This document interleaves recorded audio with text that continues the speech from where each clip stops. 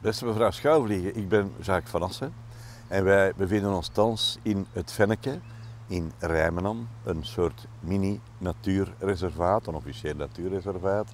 Ik ben rechtstreekse buurman van dit reservaat en een klein beetje toezichter. En hier wordt zeer regelmatig met vrijwilligers onderhoudswerken verricht in dit ven. Het zou heel jammer zijn als die onderhoudswerken zouden stilvallen en dit ven helemaal zou verdwijnen. Daarom teken ik